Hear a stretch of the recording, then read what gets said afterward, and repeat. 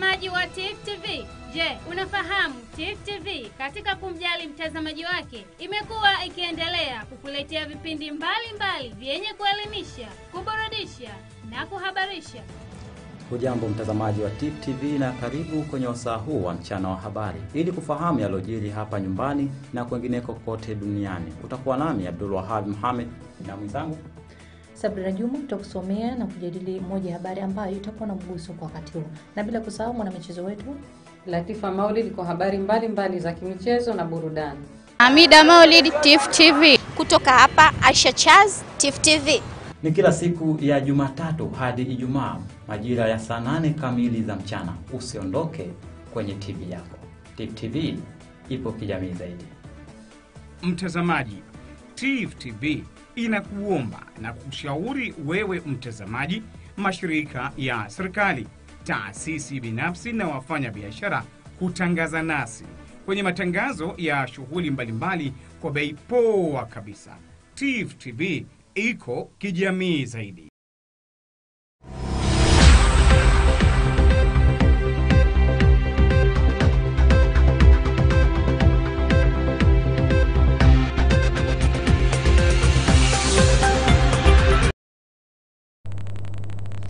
Assalamu alaikum mpenzi mtazamaji wa Tifu TV, ifuatayo ni taarifa habari itakosomwa nami Sabrina Juma, na kwanza ni muhtasari wake.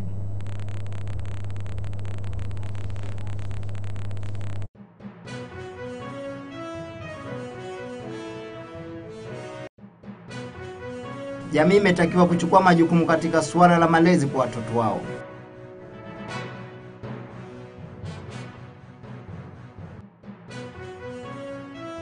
Mamlaka ya udhibiti wa huduma za maji na nishati Zanzibar wametoa mafunzo ya matumizi ya gesi ya kupikia.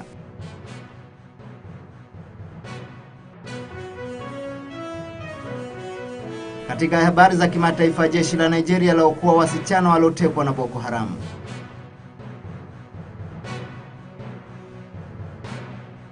Katika habari za michezo na burudani, mtoto wa Kanavaro afariki dunia.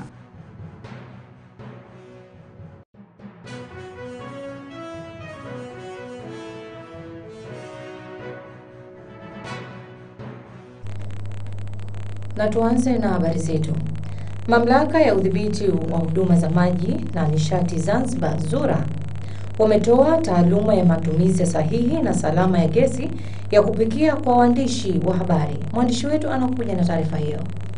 Akitoa taaluma hiyo, afisa uhusiano kutoka ZURA Mbarak Hassan Haji amesema lengo kubwa la kutoa taaluma hiyo kwa waandishi wa habari ni kuwa na uelewa wa jukumu la ZURA la kusimamia biashara ya gesi ya kupikia LPG na kuwa mabalozi kwa jamii.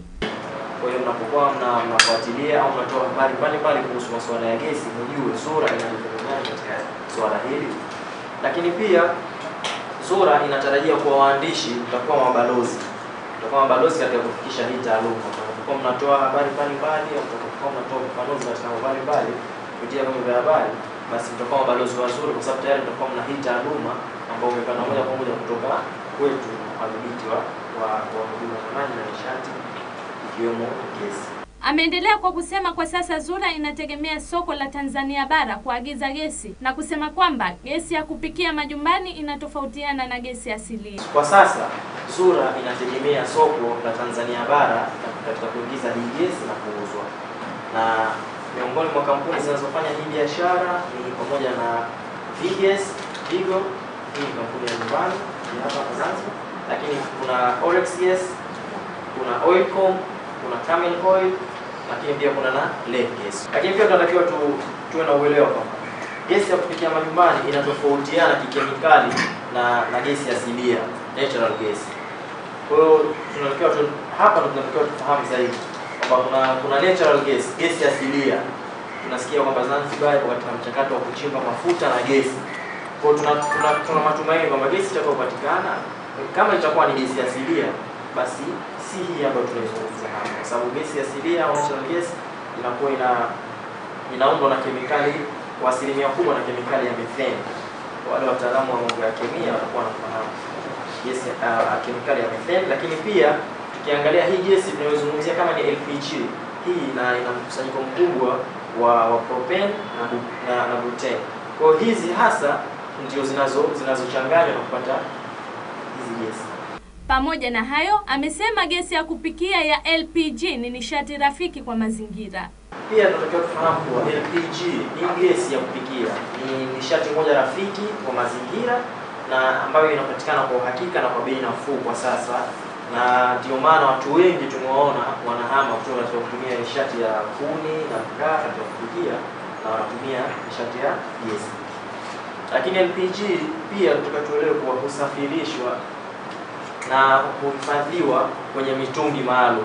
Sambamba na hayo, waandishi wa habari wameelezea namna walivyopokea taaluma hiyo na vipi wataielimisha jamii juu ya kujua madhara na matumizi bora na salama ya gesi hiyo. Binafsi niweze kusema kwamba mafunzo haya ni sahihi, hususan kwa wanahabari hapa Zanzibar, ukizingatia Zanzibar inakwenda kwenye mchakato wa mafuta na gesi, na anaweza kusema kwamba amekuja wakati mwafaka, kwa sababu waandishi wa habari ni sehemu kubwa kwenye jamii. Tuna jukumu kubwa la kuelimisha jamii kupitia maandiko yetu, aidha TV au radio. Sasa mafunzo haya yanafanya sisi waandishi wa habari tuliingia uwezo kwa ajili ya kufikisha jamii vipi wataweza kutumia nishati ya gesi, lakini pia kujua madhara ya nishati ya gesi na yepi matumizi bora. Zanzibar sasa tumeanza mchakato huu kwa nishati ya na gesi, tunaweza kusema kabisa kwamba ni kitu kizuri na kifutia wakati mwafaka kwa sisi waandishi wa habari, na naamini ujumbe huu ambao tumepata leo tutaifikishia jamii kwenye wakati mwafaka.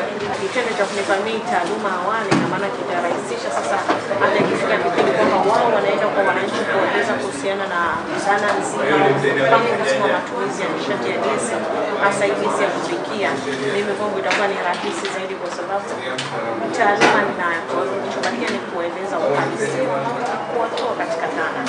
Sada Hafiz Badru, TIFF TV. Shukran Sada Hafidh kwa taarifa yako hiyo. Mkurugenzi wa idara ya watu wenye ulemavu Zanzibar, Bi Abeda Rashid Abdallah amekabidhi madawa katika hospitali ya wagonjwa wa akili Kidongo Chekundu. Mwandishi wetu anafafanua zaidi.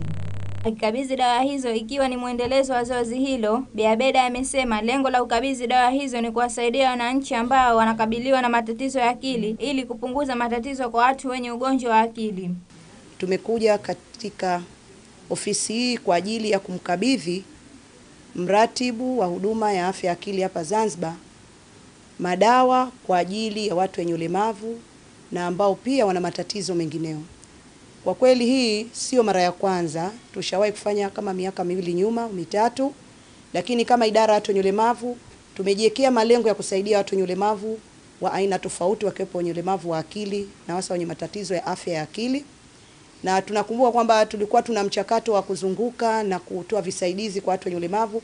Kwa hiyo na leo tumeona tukabidhishe dawa mbalimbali mbali, ambazo wenzetu wataalamu walitupatia ile idadi au aina za dawa ambazo wanahitaji ili kupunguza yale matatizo wenzetu wenye ulemavu ambao pia wana matatizo mengineo hasa ya kiafya ya akili waweze kutumia.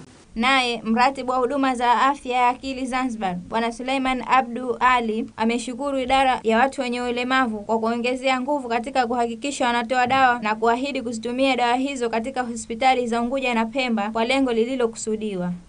Kwa hiyo tumepokea msaada huu kwa mara nyingine, kama nilivyosema, kwa mikono miwili. Tunakuthibitishia mkurugenzi kwamba kama ulivyoridhika tulivyozitumia dawa zetu za awamu iliyopita, na hizi tutafanya au tutaongeza juhudi zaidi ya kuhakikisha dawa zinawafikia walengwa ambao wamekusudiwa. Kwa kawaida dawa zetu hizi huwa tunazigawa katika mafungu mawili, ingawa uwiano sio sawa, tunafata zi, ile system ambayo sisi wenyewe tunayo, na hususan nakumbuka tunayoitumia ni 40 kwa 60 Pemba na Unguja. Kwa hiyo tutazigawa dawa katika utaratibu wetu na tutazifikisha kwa wenzetu upande wa Pemba ili nako waweze kusaidia vile vile, waone kile ambacho kimetoka na kina kiwafikie. Dawa hizi si kidogo, ingawa ni chache, lakini kimatumizi si kidogo, kwa sababu dawa zinawaharimu wagonjwa pesa nyingi, watumiaji zinawaharimu fedha nyingi kila siku wenzetu wakisikia kwamba dawa labda sisi hatuna, basi wagonjwa wanalalamika. Hata dawa zinabadilika bei mara kwa mara katika maduka ya nje. Kwa hiyo itemu hizi karibu kumi na moja. Kwa upande wake mwenyekiti wa baraza la watu wenye ulemavu taifa Bwana Haidar Hasham Madoe amewaomba watumiaji wa dawa hizo kupata maelekezo kwa daktari. Natoa wito tu kwa wale ambao watakuwa hawakufika hospitali hapa kupata dawa, na hata kama wamefika hospitali kutoa dawa, kama kuna utaratibu wa kuambia wachukue nyumbani, basi wakiponywa wakichukue nyumbani, basi wazitumie kwa mujibu wa maelezo watakayopewa daktari. Nategemea shindano kama zitatumika hapa hapa, natumia vidonge watapewa hapa hapa, lakini inawezekana kwamba kutokana na uhalisia wa maradhi yalivyo, basi wanatopata fursa ya kuchukua wazitumie ipasavyo, wasizitupe. Idara baraza bado liko pamoja nao katika kuona kila mwaka katika bajeti yetu tunatoa kipengele cha kuweza ununuzi wa dawa kwa watu wenye ulemavu na wele, watu wenye ulemavu wa akili. Munira Abu, Tifu TV. Shukran mwandishi wetu kwa taarifa yako hiyo. Mkuu wa mkoa wa wilaya ya Magharibi B, Captain Silima Haji amewataka maafisa wa wapiganaji wa jeshi la kujenga uchumi JKU kuwa na mwamko wa kufanya usafi mara kwa mara ili kuweka haiba nzuri mji wa Zanzibar. Mwandishi wetu anakuja na taarifa hiyo. Wito huo ameutoa katika kijiji cha SS Mombasa, wilaya ya Magharibi B Unguja, wakati alipokuwa akifanya zoezi la usafi katika shamra shamra za kutimiza miaka 41 ya kuasisiwa kwa jeshi hilo. Usafi ni jambo zuri kwa sababu usafi ni afya, lakini usafi vile vile unaweka mazingira yetu katika hali ya uzuri na ya kupendeza. Kwa hiyo hata ile taathira yenyewe ya eneo ikiwa imefanywa usafi, basi inaonekana inapendeza, na kama haiko safi, kwa maana kuna uchafu, basi upendezo wa macho unakuwa haupo. Kwa hiyo ndo maana kwamba tukasema kwamba mambo ya usafi haya yanaleta afya, kwa sababu hata macho yako yanapoona yanaona una- roho inafurahi au nafsi inafurahi baada ya kuona lile eneo liko vizuri. Kwenye hili nawaombeni mwendelee mwendelee na mpango wenu huu kama mlivyopanga, ili hatimaye basi na nyinyi mfike ile siku ya tarehe tatu ili mwazimishe zile sherehe za kuzaliwa miaka 41 kama ambavyo mmekusudia.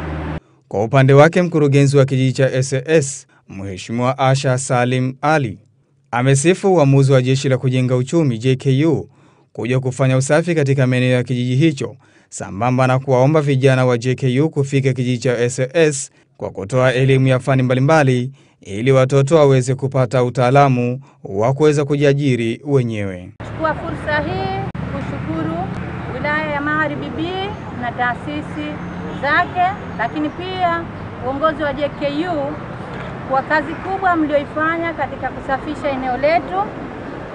Kazi mlioifanya ni changamoto na motisha kwa watoto wetu. Naomba niliombe jeshi la kujenga uchumi.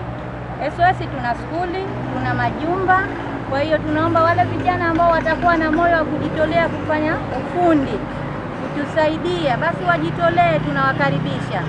Naye mkuu wa utawala wa jeshi la kujenga uchumi JKU Luteni Kanal Musa Mohamed Shame amesema kuwa jeshi lake litakuwa tayari wakati wowote wa kushiriki katika shughuli zote za kijamii ikiwemo usafi wa mazingira. Jeshi la kujenga uchumi katika kipindi hichi cha maadhimisho hayo tumeazimia kufanya shughuli mbalimbali, ikiwemo moja kufanya maeneo ya usafi katika maeneo yote ambayo JKU imo na katika, katika mkoa huu wa mjini au katika zoni ya mjini, basi tume, tume makubaliano leo tuingie katika kijiji hichi cha SOS kufanya usafi. Usafi huo wa mazingira umefanyika katika maeneo mbalimbali ya mjini na vijijini ikiwemo kijiji cha SS, kijiji cha Nungwi na kijiji cha Chwaka, na kilele cha sherehe hizo kinatarajiwa kufanyika ifikapo Machi tatu mwaka huu. Nikiripoti kutoka Tifu TV, mimi ni Salum Abdallah. Shukran mwandishi wetu. Wasimamizi wa makaburi ya Mwanakwerekwe kwa upande wa dini ya Kikristo wanalalamika juu ya uharibifu wa mazingira ya maeneo ya kuzikia maiti pamoja na kuvamia katika makaburi hayo. Mwandishi wetu anakuja na taarifa hiyo. Ameyasema hayo msimamizi wa makaburi ndugu Saspita Ngwali amewataka wananchi kujiepusha matendo yasiyohusika katika maeneo hayo ya makaburi. Pia amewataka viongozi kuwa mstari wa mbele katika jambo hilo. Kucheza mpira ni eneo la kuja kufanya kuweka kuja, kuja kuzika, lakini sasa unapogeuza maeneo haya na kuja kufanya viwanja vya kuchezea mpira, si sehemu nzuri sana. Ukiangalia humu kuna saruni, mtu anapojisikia yeye anaona yeye ah, ye sawa kwake, linamwingia kichwani, yeye hili limeingia kichwani, yeye anafanya. Kwa hiyo anakuja kukaa hapa na wanasheviana nywele mpaka anamaliza. Sasa unamuuliza hivi, wewe ambao umekaa hapa na kufanya kitendo hichi cha ku, cha ku, cha ku, cha cha kushiviana hapa, ina maana kwamba wewe unaona hiki kitendo kiko sawa au vipi? Watakugeukia, huyu atakuja na kisu, huyu atakuja na panga, hamtaelewana. Kwa hiyo wewe ambao unajiona kwamba wewe ni mdhaifu, huna kisu wala panga, unaona basi haya tunapeleka sehemu ambayo ni za uongozi sehemu husika, lakini sehemu husika, mi bila shaka naweza nikasema bado hawajalifanyia kazi ile ipaswavyo. Ukiangalia misalaba imesimama, mtu anakuja anaweka alama ya msalaba kwa ndugu yake, inang'olewa au inafikia hatua hasa mtu anachukua jiwe inapigwa. Lakini sasa tunajiuliza hii haki iko wapi? Mi nafikiri tu kwamba tufikie sehemu tuheshimiane. Kama ni heshima, basi tuheshimiane. Dini isiwe chanzo cha kufanyiana maswala kama haya hapa. Mwisho wa hapa itakuja kuwa ni uvunjifu, yani kwanza ni uvunjifu wa amani. Hata hivyo, amewataka waumini wa dini zote mbili kukaa kwa amani ili kujiepusha na maamuzi yasiyo rasmi ambayo yanahatarisha amani ya nchi. Sehemu yetu hii ambayo tuliyopewa ya, ku, ya kuwaweka hawa ndugu zetu ambao wamemaliza muda wao, Mwenyezi Mungu amewapenda kuliko sisi waliotutangulia, basi tuzidi kuzi, kuzi, kuzi, kuzifanyia msimamo mzuri na kuzirinda, ili sisi tuliobakia na maeneo yaliyobakia, na sisi Mungu atakapotuita na sisi tuwepo pale. Na si hilo tu, inaona kwamba kama tutakuwa tumezidi kuendelea kusimamia na kuangalia yale maeneo ya ndugu zetu ambao waliokwisha kututangulia, wapo ambao watakuja kuuliza fulani yuko wapi tutakuja kuonyesha tutasema kwamba alishaga fariki, kaburi lake ni hili hapa. Sasa je, leo kama atakuwa amekuja kauliza fulani yuko wapi, hata kaburi basi hakuna. Pia ameiomba serikali kuwasaidia kuchukua hatua kwa wale wote wanaokwenda kinyume na amri ya serikali. Nilikuwa ninaomba tu serikali, naombeni wale wote ambao wamekaa katika sehemu zenu mlizogawiwa na wale wote ambao wameegemewa makaburi yao, kwanza kuyaheshimu, pili kumlinda kila mmoja ambaye anazungukia makaburi yale ya pale, kuhakikisha usalama wa kutupa taka, kufunga mifugo, ng'ombe, aidha ng'ombe, mbuzi, kuchezewa maeneo yale ya pale. Waweke tu sheria kusema kwamba si ruhusa, na mtu yeyote atakayekutwa anafanya hivyo kinyume na hivyo, basi achukuliwe sheria. Nikiripoti Husa Madidi, Tifu TV. Shukran sana mwandishi wetu. Jamii imetakiwa kuchukua majukumu yao katika suala la malezi kwa watoto ili kuwawezesha watoto kuwa na maadili mazuri na kuweka kufikia malengo yao. Mwandishi wetu anakuja na taarifa hiyo.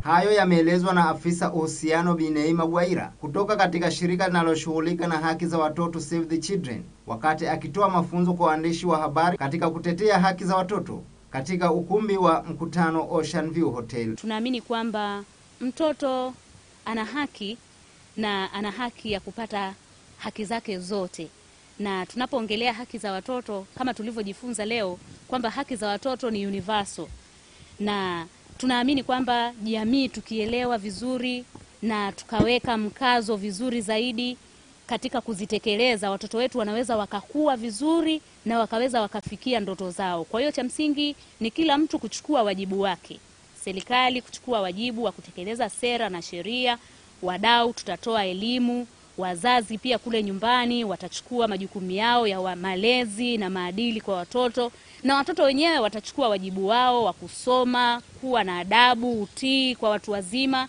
ili waweze pia kufikia malengo yao kwa ujumla. Aidha, amewataka wazazi pamoja na walimu kuachana na mila na desturi na kuwataka kuwatumia adhabu mbadala kwa watoto wao. Kutokana na mila na desturi tulizonazo ndizo hasa zinakuwa bado watu wanashindwa kuziachia. Watu wamezoea kwamba mtoto ni lazima apigwe sana ndio anaweza kuelewa. Kwa hiyo sio kitu ambacho unaweza ukakifanya kwa muda mfupi. Inahitaji muda wa kutosha kuweza kukaa na wazazi, kuweza kuongea kuhusiana na adhabu mbadala, kukaa na walimu. Hivyo vitu ndivyo vinavyohitajika na si masuala ambayo yanachukua muda mfupi. Lakini nilivyosema, utekelezaji wa sera, tunajua Tanzania tuna sera nyingi zinazohusu watoto, lakini pia ni sera nzuri, tuna sheria zipo zimewekwa vizuri, lakini kitu tunachokiona bado ni changamoto ni zile resources hazitengwi za kutosha kuweza kuhakikisha kwamba hizi sera zote zinatekelezeka. Kwa hiyo bado tuna upungufu katika swala zima la resource ambazo hazitufanyi tutekeleze yale yote ambayo tumeyapanga kuyafanya. Wa kuwatumia watoto wao ili kupata pesa. Kuna wazazi wengine wanaamua waozeshe watoto wao kwa sababu watapata mahari, watapata pesa, lakini vivyo kuna wazazi wengine kuliko kupata aibu ya mtoto labda kujifungua nyumbani, anaona ni bora amozeshe mapema. Kwa hiyo bado ni tamaduni zinachangia sehemu kubwa sana, uchumi na wenyewe na shida zake na lakini vile vile bado tunahitaji kuwa na kuongeza uelewa katika masuala ambayo ni ya msingi ya kusaidia haki za mtoto, na lazima tuangalie sheria zetu zinasemaje, tuboreshe vipi sheria zetu. Sheria ya mtoto tuhakikishe kwamba inasapotiwa na sheria ya jinai, sheria ya mtoto ihakikishe inasapotiwa na sera ya elimu, sera ya afya, kuviharmonize hivi vitu vyote. Omar Abdallah, TIFF TV. Shukran Munir Abdallah kwa habari za, kima, za kitaifa. Na mpenzi mtazamaji, tumekamilisha habari za kitaifa na sasa ni wasaa habari za kimataifa, lakini kabla tupate mapumziko mafupi.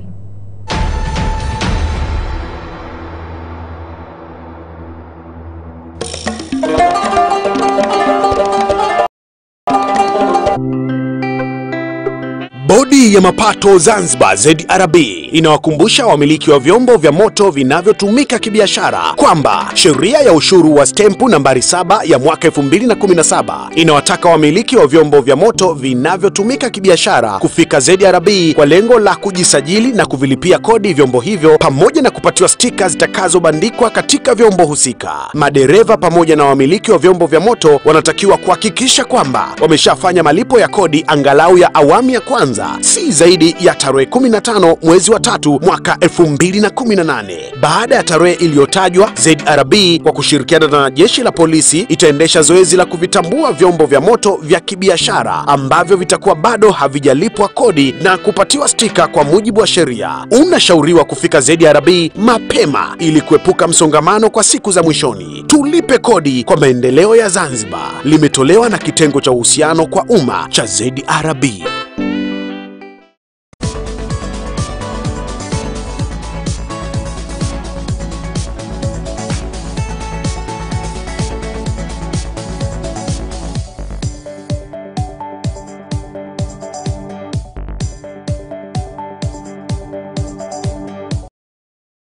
Zifuatazo ni habari za kimataifa tukianzia nchini Uturuki.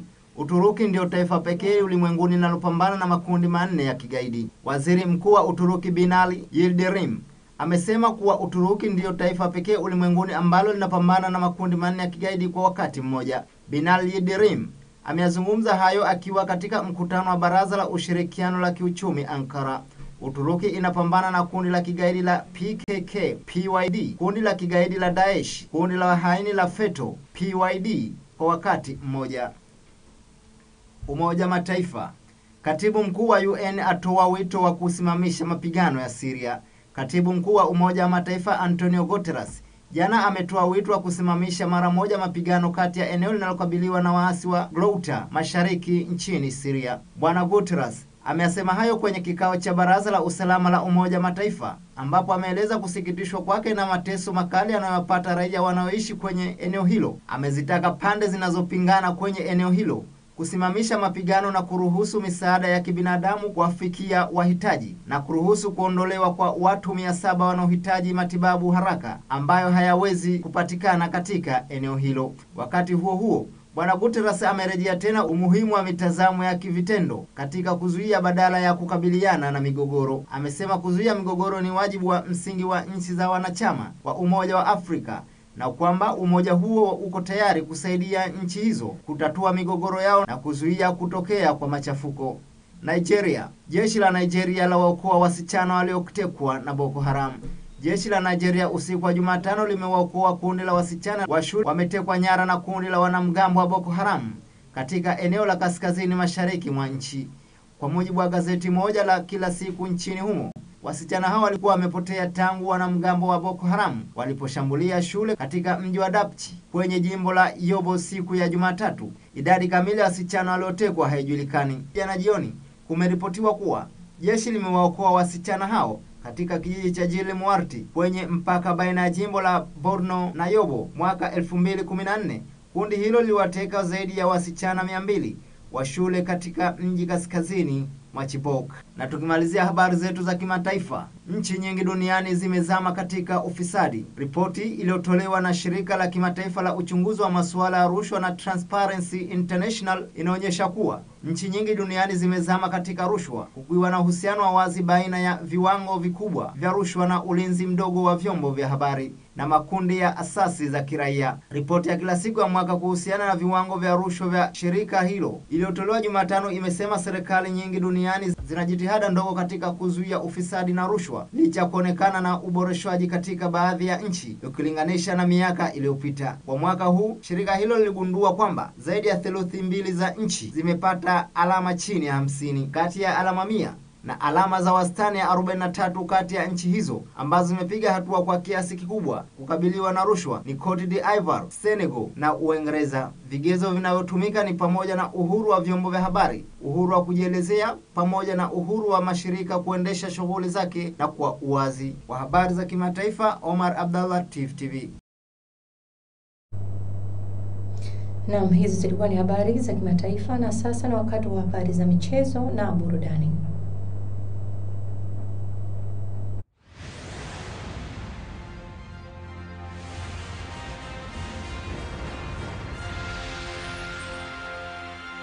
Clash of Kings.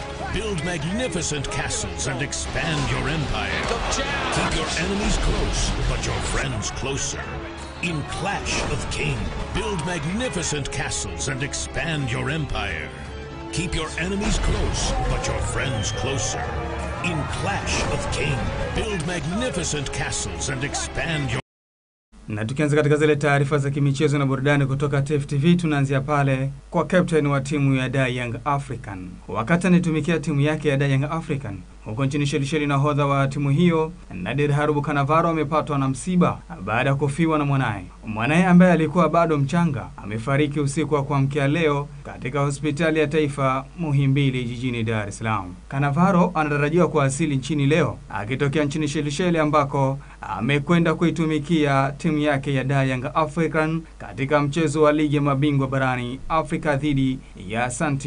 Louis. Yanga ilipata sare ya goli moja kwa Kocha huyo kundi maalum la kutathmini maendeleo ya mpira wa miguu the Executive Football Summit litakalofanyika leo Februari 22 mwaka 2018 baada ya kutoa uwanja wa ndege wa kimataifa wa Mwalimu Julius Kambarage Nyerere. Infantino amepokelewa na waziri wa habari, utamaduni, sanaa na michezo Dr. Harrison Mwakembe ambaye alikuwa ameambatana na mkurugenzi wa soka duniani jan Infantino. Leo alfajiri ameweza kuwasili katika jiji la Dar es Salaam kwa ajili ya kongamano maalum la kutathmini maendeleo ya mpira wa miguu the Executive Football Summit litakalofanyika leo Februari 22 mwaka 2018 baada ya kutoa uwanja wa ndege wa kimataifa ya Mwalimu Julius Kambarage Nyerere. Infantino amepokelewa na waziri wa habari, utamaduni